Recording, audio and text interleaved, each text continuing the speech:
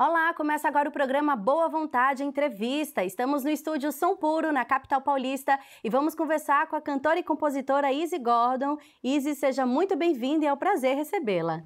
Muito obrigada, prazer é meu de estar aqui com você. Izzy, a gente começa o nosso bate-papo de hoje em clima de alegria, de solidariedade. Você esteve no Conjunto Educacional Boa Vontade. Conta pra gente como que foi. Foi maravilhoso, né? Recebi um, um, presente, mas não um presente, né? Porque as crianças cantaram, né? Fizeram uma coisa muito linda, mas conhecer foi um presente, conhecer, sabe, mais, mais a fundo o trabalho me deixou muito emocionada mesmo, assim, que presente, que legal. E parece assim, o mundo tem, sabe aquela, aquela sensação, o mundo tem concerto, né?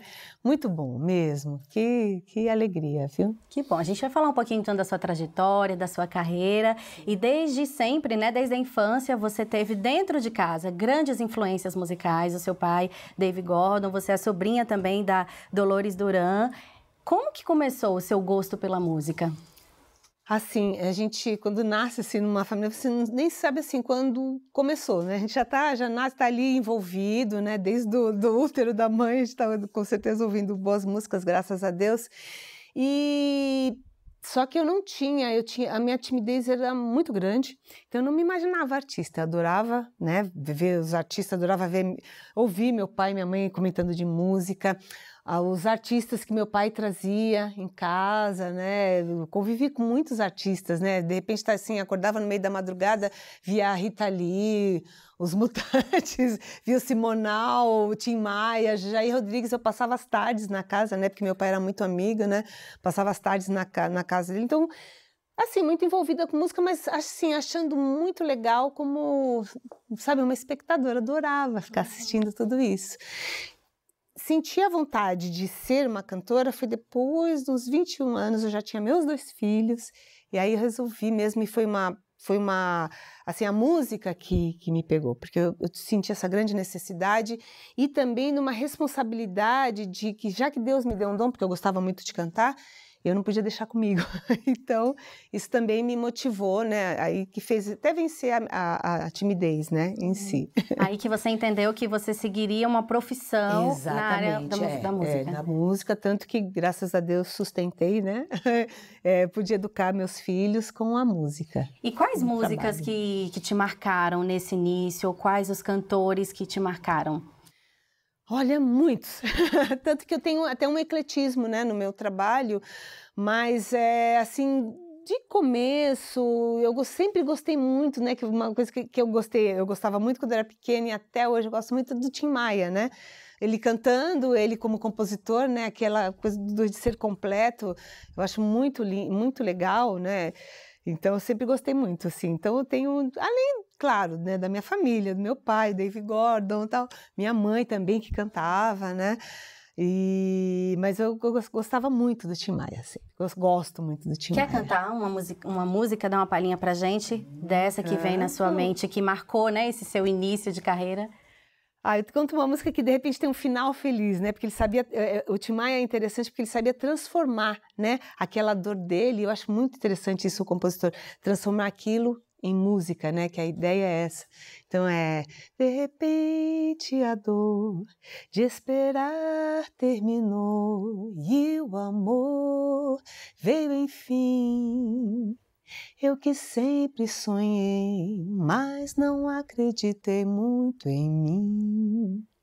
Vi o tempo passar, o inverno chegar. Uma vez, mais dessa vez, todo pranto sumiu, um encanto surgiu, meu amor. Você é mais do que sei, é mais que pensei,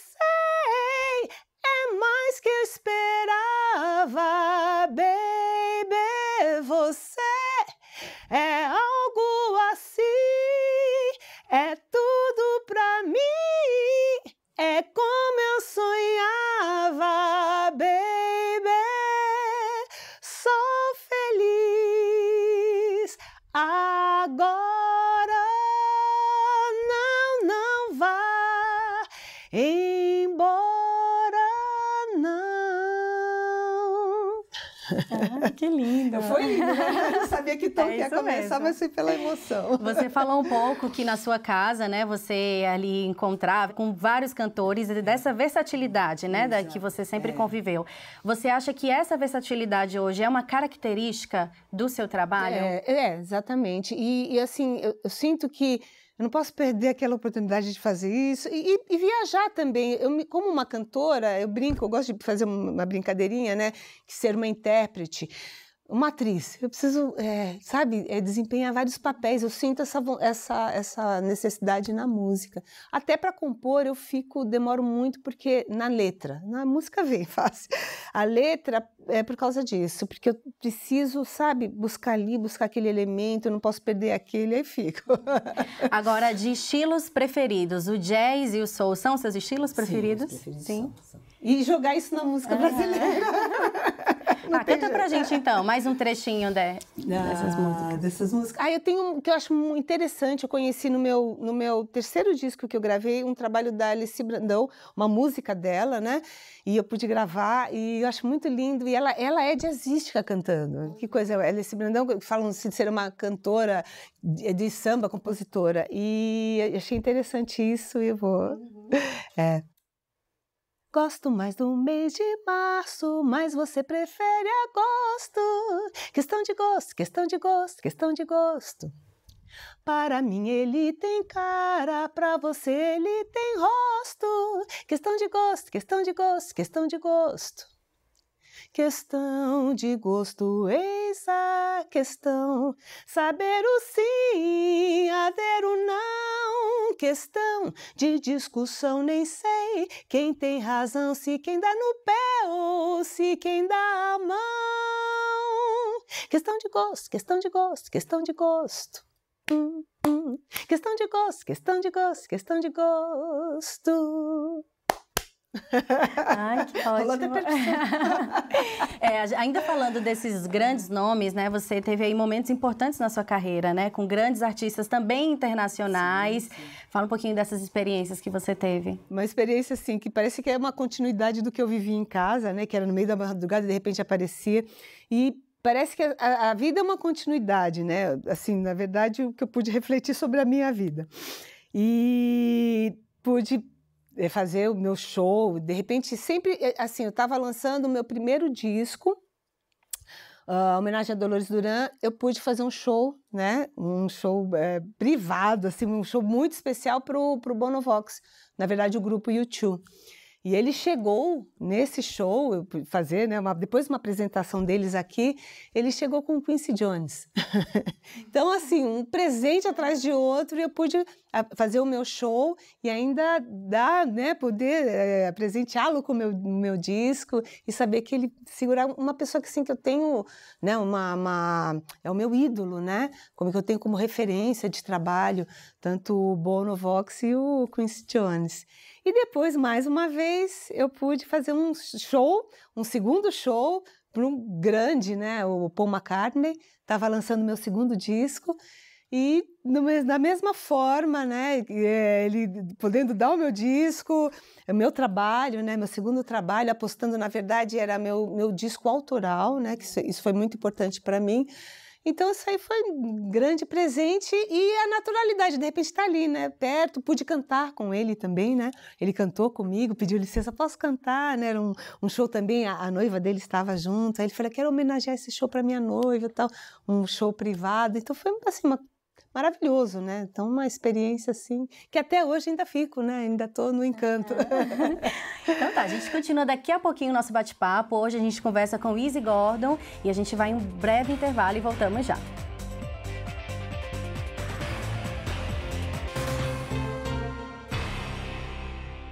Estamos de volta com o programa Boa Vontade Entrevista, no estúdio São Puro, na capital paulista. Hoje conversando com Izzy Gordon, contando um pouco da sua trajetória e desses desafios que você é, enfrentou aí na sua carreira, né? Você foi mãe muito jovem. Como que foi administrar isso, né? A maternidade e a carreira musical? É uma loucura, né? A gente fala, eu estava conversando até um pouquinho antes com as meninas aqui fora é, sobre empoderamento. A gente já é empoderada e nem, nem sabe, nem me dei conta, né? Porque, é, é, como chama, é, é, nós somos multitarefadas, né?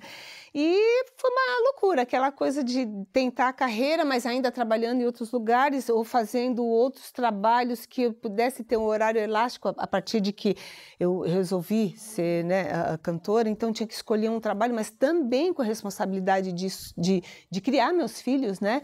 De sustentá-los. Né? E isso é legítimo e amor. E continuo trabalhando, né? Tão digno, né? Porque todo mundo fala, mas qual é a sua outra profissão, né? você, ah, você canta, e, e qual é o seu trabalho, qual é a sua profissão mesmo, né? E não, graças a Deus, com a responsabilidade, mas foi com esse meu trabalho, sendo feliz, que eu pude não, nada é perfeito, né? Mas que eu pude sustentá-los. Então foi essa loucura de esticar horário. Eles têm assim, falar ah, estúdio, não. Eu não quero, hoje eu não quero entrar em estúdio, porque eles ficavam ou esperando no estúdio ou esperando na porta da escola a mãe, a mãe buscar. Aquela que não tem, né? A gente não tem um horário certo, tudo. Mas sabe, sobrevivemos, eles cresceram e hoje eu já sou avó, né? Ah, então, é muito assim, é, foi muito bom, mas eu tinha mesmo essa necessidade de me realizar profissionalmente, né? E passar isso, né? Eu acho que, é, na verdade, é, como mãe, né? É, exemplo, né? O exemplo de ser feliz, exemplo também de, de, de trabalho, de tudo, porque é, é, é até hoje, né? Muito trabalhoso, né? Meu, uhum. A minha profissão é muito, é muito trabalhosa como todas, né? Mas é legal passar isso, que a gente pensa, não, tá tudo bem, né? Hoje tá bem, você passou o dia né, no como banho de espuma, e não é essa, né? Não é todo esse glamour, né? Essa felicidade que você encarou esses desafios e que hoje você encara e leva a sua carreira é, também está muito presente na, né, nas, nas, suas obras, a luta pelas causas, né? Você defende uma série de bandeiras, inclusive a do empoderamento. E em 2012 você participou da gravação da música Grande Família Humanidade, é uma produção do LBV Cultural que destacou justamente é, um debate dos jovens sobre temas vencendo o preconceito, a vivência fraterna entre as pessoas. Como que foi para você participar? Participar dessa música? Nossa, maravilhoso. Assim, é, é, é uma continuidade ao que eu penso, o, o que a minha música pode atingir, que é da pessoa mesmo se poder se inspirar, poder acreditar que tem, né? Que, que o, o mundo é, tem pessoas trabalhando, né? O mundo tá, é, o que, é o que é, mas na verdade, se a gente é focar nesse lado de que tem muita gente trabalhando, muita gente no lado do, não vou dizer que é o, né, o bem, o mal, não, sabe, trabalhando mesmo, eu acho que é isso. Então deu uma força a mais até ao meu trabalho. É o que, é o que eu gostaria de passar cada vez mais. Então foi muito importante mesmo. Para você, qual que é o papel da classe artística na defesa de causas como essa? É, eu acho muito importante, porque a gente está. É, nossa, é um trabalho que. É, o que diferencia é que a gente está muito em evidência. Então, nós temos uma grande responsabilidade, sim, né? Então, eu acho que todas as causas que, que, que a gente é convidado, né? Porque às vezes a gente não. Eu fico tão feliz que ah, apareceu um convite, né? Não só a gente se disponibilizar, porque às vezes está tão na correria da nossa rotina, da casa, de tudo, e às vezes você não lembra de também se oferecer. Então, quando vem um convite, ai que legal, que bom, e correr mesmo, sabe? Para trabalhar, para atender, porque isso acaba voltando para você, né? A gente acha que é lá, não é. É uma coisa que, sabe, é de troca, né? Então, eu acho muito importante mesmo uh, na, a classe, é uma grande responsabilidade, é, eu acho que é até maior, sim, uhum. por, a gente, é, por a gente estar em evidência, né? A LBV acredita na música como ferramenta de desenvolvimento social, de mobilização. Para você, como que isso se aplica? Pois é, poderia. É, na verdade, ela precisa ser mais aplicada, né? Porque, no geral, ainda, né? É, é ainda está muito voltada a um lazer assim. Sim, é uma coisa assim, né? É, exatamente. Muito entretenimento, muito. Mas é, é, o meu ver, não é uma coisa, não é uma crítica. Eu acho que poderia estar mais. Graças a Deus, bem, bem lembrado, que nós temos as redes né? A, a, a internet está aí, a gente pode divulgar melhor o trabalho e a pessoa pode escolher mais, né? Antigamente só tinha a TV, né? A TV e o rádio e, e era aquela coisa ditada. Então falta a gente aplicar mais, porque sempre o que está mais em evidência é aquela coisa mesmo parece vazia, né? É bom se distrair, é bom, às vezes, pegar um filme, né? Um besterol uma tarde, né? Você vai lá, vou assistir esse besterol, vou comer pipoca e pronto. Um momento, mas tá demais, né? Eu, eu acho que poderia estar mais efetivo, né? Eu, eu sinto essa essa necessidade, né, da música estar tá mais efetiva em, em causas, né, porque as coisas estão acontecendo, né, todos os dias, né, todas, é, é diminuto, né, até a violência contra a mulher, é, é, não sei quantos segundos, né, uma mulher é agredida, então estão coisas muito sérias acontecendo que, ah, não, né, uhum não esquecer. Não é ser chato, né? Mas precisa ser mais efetivo um pouco. A música sendo esse meio de expressar, né, de defender causas, o que que te inspira? O que que mais te motiva a compor? Olha, apesar de que o meu trabalho, eu não sou direta a falar de uma, uma, violência, eu gosto até mais de falar sobre isso. Mas na minha música, eu gosto de mostrar sempre o lado da luz, o lado de que você pode, que pode alcançar, um lado que você é para você acordar, se inspirar de manhã. Poxa, olha que legal isso aqui. Eu penso é, assim. Então, meu trabalho é nesse sentido. é, é esse lado mesmo de, de, elucidar as pessoas, de, de saber, de, de mostrar que tem um caminho que você pode se informar mais, que você pode uh, acreditar mais né, nas coisas, né? Que, tem, que você tem força, né? Que você tem uma força interior.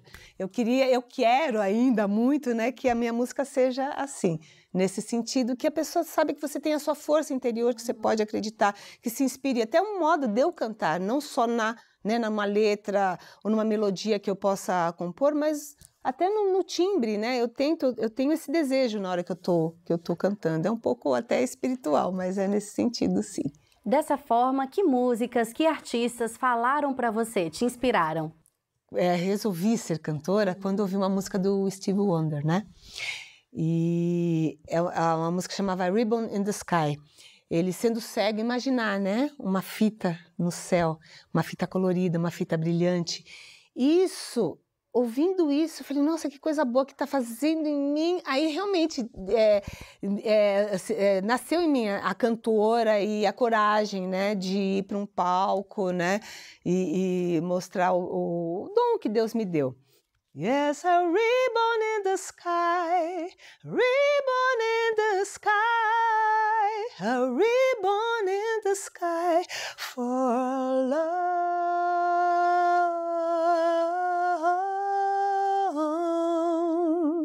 dun dun dun dun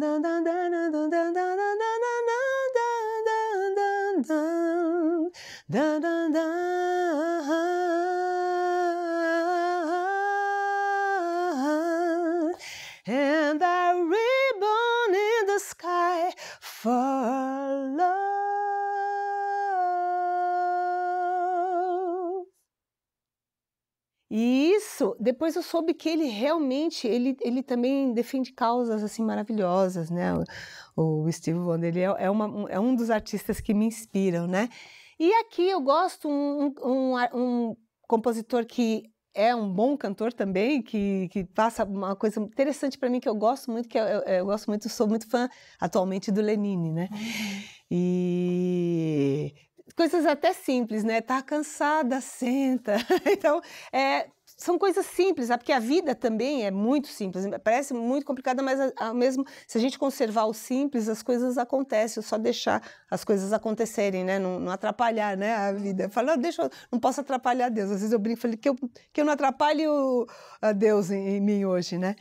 Então é isso, eu tenho esses dois, dois artistas, né, dois compositores, cantores que eu gosto muito. São compositores, é, é, tem essa coisa, né, do, de estar um pouco completo dentro da música, uhum. né? Tá, a gente quer ouvir você mais uma vez cantar. a, ah, sim. Tem a, a minha música do meu novo EP, eu ainda tô, é, eu fiz, né? Eu mexi tanto na letra que às vezes eu esqueço um pouquinho, mas acho que eu vou lembrar. que chama Luzia, né? E praticamente de primeira mão aqui para você. Ah, que bom. Luzia, um encanto, uma luz irradia. Tem também um encanto e magia. Faz assim com seu jeito de olhar e amar. Luzia.